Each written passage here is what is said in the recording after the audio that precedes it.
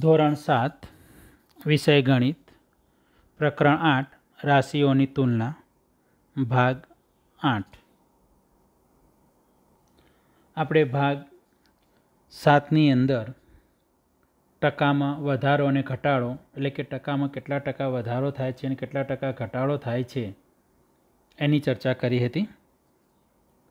હવે વિભાગ એચ નફો ખોટ. તો કેટલાક પદની સમજૂતી મેળવી લઈએ આપણે. મૂળ કિંમત. મૂળ કિંમત કોને કહેવામાં આવે છે? કોઈપણ વસ્તુ ખરીદતા જે રકમ આપવી પડે, તેને વસ્તુની મૂળ કિંમત કહેવાય છે. તેને ટૂંકમાં મૂકી લખાય છે. પડતર કિંમત. પડતર કિંમત કોને કહેવામાં આવે છે તેની વાત કરીએ તો વસ્તુ ખરીદ્યા પછી તેના ઉપર થતા ખર્ચને મૂળ કિંમતમાં ઉમેરતા વસ્તુની પડતર કિંમત મળે, તેને ટૂંકમાં પક્કી કહેવાય. જેમ કે, આપણે દસ હજાર રૂપિયાનું ટીવી ખરીદીએ અને એ ટીવીને ઘરે લાવવા માટે પાંચસો રૂપિયા આપણે ભાડું આપીએ ટેમ્પામાં લાવવા માટે, તો પાંચસો રૂપિયા એ ખરા જાત થયો, દસ હજાર રૂપિયા ટીવીની મૂળ કિંમત થઈ, તો આપણને એ ટીવી કેટલા રૂપિયામાં પડશે? તો આ બંનેનો સરવાળો કરીએ તેટલામાં. એટલે કે દસ હજાર પાંચસો રૂપિયા. અને આ જે કિંમત બતાવે છે એને પડતર કિંમત કહેવાય. એટલે કે પડતર કિંમત બરાબર મૂકી પ્લસ ખરાજાત. એટલે મૂળ કિંમતની અંદર ખરાજાત ઉમેરીએ, તો પડતર કિંમત મળે. પણ જો કોઈ ખર્ચ થતો ન હોય, તો વસ્તુની મૂળ કિંમત એ જ તેની પડતર કિંમત છે. વેચાણ કિંમત. કોઈપણ વસ્તુ વેચતા જે રકમ ઉપજે તેને તે વસ્તુની વેચાણ કિંમત કહેવાય. તેને ટૂંકમાં વેકી લખાય. જેમ કે ઉદાહરણ તરીકે કે આપણે એક રેડિયો રૂપિયા પાંચસોમાં લાવ્યા. એટલે આપણે આ પાંચસો રૂપિયા મૂળ કિંમત થઈ ગઈ રેડિયાની.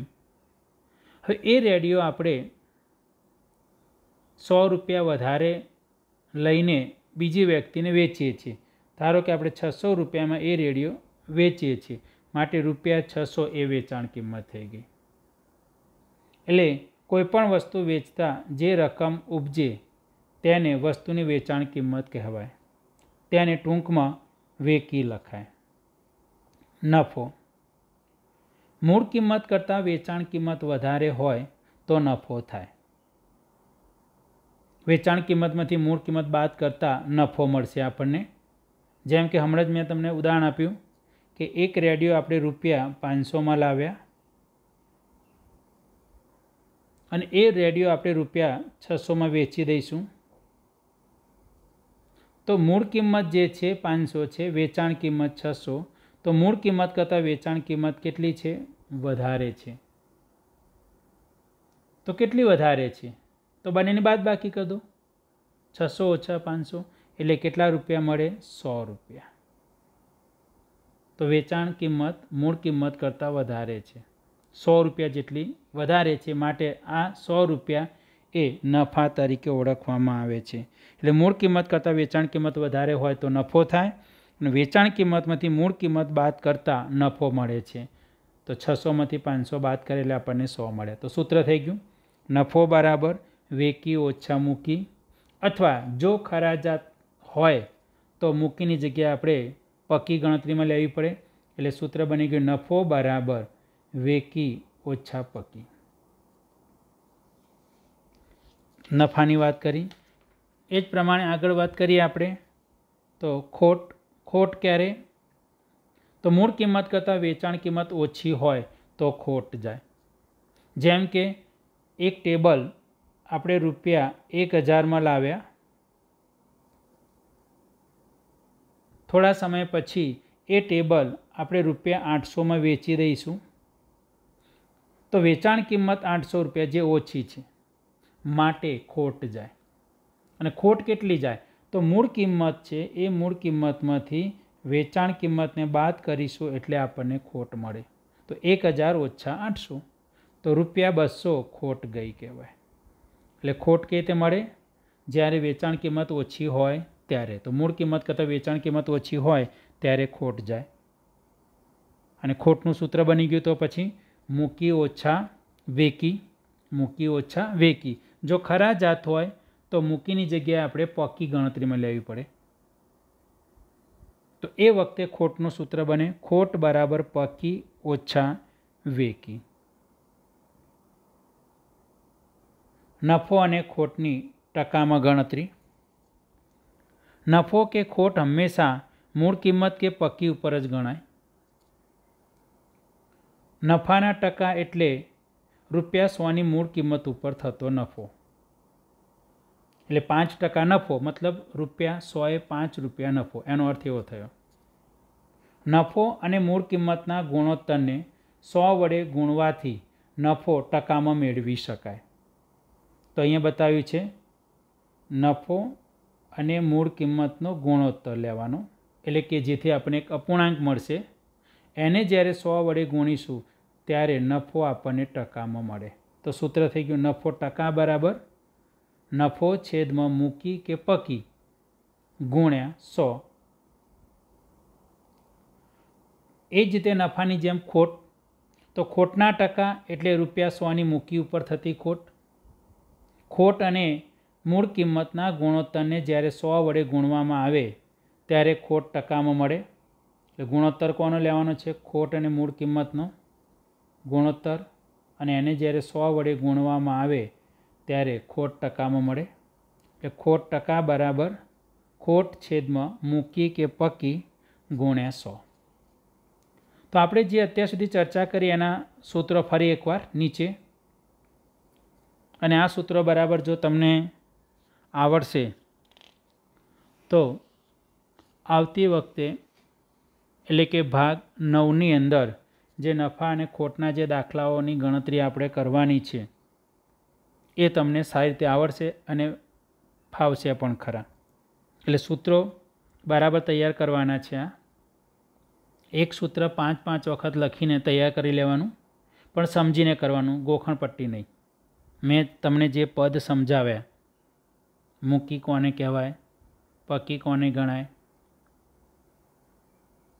વેચાણ કિંમત શું છે, નફો ક્યારે થાય, ખોટ ક્યારે જાય, એ બધા જે મેં તમને પદ સમજાવ્યા એ સમજી અને ત્યારબાદ આ સૂત્રો તૈયાર કરવાના.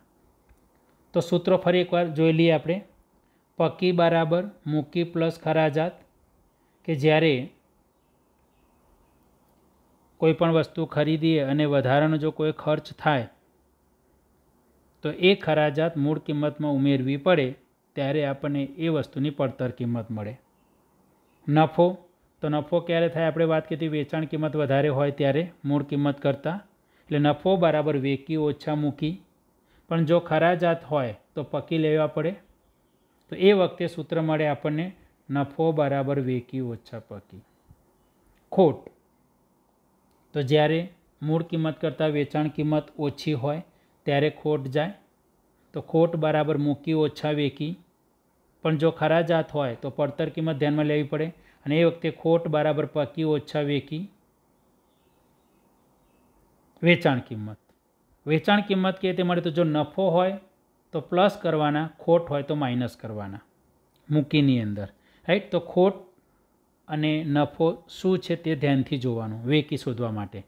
તો વેકી બરાબર નફો હોય તો મૂકી પ્લસ નફો. એટલે મેં કહ્યું તમને નફો ઉમેરી દેવાનો. અને ખોટ હોય તો બાદ કરી દેવાના. એટલે મૂકી ઓછા ખોટ. જો પડતર કિંમત હોય તો મૂળ કિંમતની જગ્યાએ આપણે પડતર કિંમત વિચારીને એના એ સૂત્ર ફરીથી. નફો ટકામાં. તો નફો ટકા બરાબર. નફો છેદમાં મૂકી કે પકી ગુણ્યા સો. એટલે આપણે નફો અને જે મૂળ કિંમત અથવા તો પડતર કિંમત, ખરા જાત તો આપણે પડતર કિંમત જ લેવી પડે તો મૂળ કિંમત ગણતરીમાં લેવાય નહીં. તો એ બંનેનો ગુણોત્તર લેવાનો, એટલે જેના કારણે અપૂર્ણાંક બને, એને સો વડે ગુણીશું એટલે આપણને ટકા મળી જશે. એ જ રીતે ખોટ ટકામાં, તો ખોટ છેદમાં મૂકી કે પકી ગુણ્યા સો. અને આ પ્રમાણે નફો અને ખોટ ટકામાં આપણે શોધી શકીશું. તો આપણે ભાગ આઠની અંદર વિભાગ એચની વાત કરીએ આપણે. વિભાગ એચની અંદર નફા અને ખોટ સંદર્ભમાં આપણે ચર્ચા કરી. જેમાં મૂળ કિંમત તમને સમજાવી, પડતર કિંમત સમજાવી, વેચાણ કિંમતની વાત કરી, નફો ક્યારે થાય તેની વાત કરી, એના સૂત્રો ખોટ ક્યારે જાય તેની વાત કરી, એના સૂત્રો. નફા અને ખોટની ટકાવારીમાં ગણતરી સમજાવી મેં તમને અને ત્યારબાદ એ બધા સૂત્રો જે આપણે આગળ સમજાવ્યા, એના એ સૂત્રો ફરી એકવાર લખી દીધા અને આ દરેક સૂત્રો સમજી વિચારીને તૈયાર કરી દેવાના. અને દરેક સૂત્ર પાંચ પાંચ વખત રફ કાગળમાં લખી દેવાના, જેથી કરીને સૂત્રો તૈયાર થઈ જાય. તો આવતી વખતે ભાગ નવની અંદર આના દાખલાઓ ગણવાના છે. તો ભાગ આઠનું કામ પૂરું.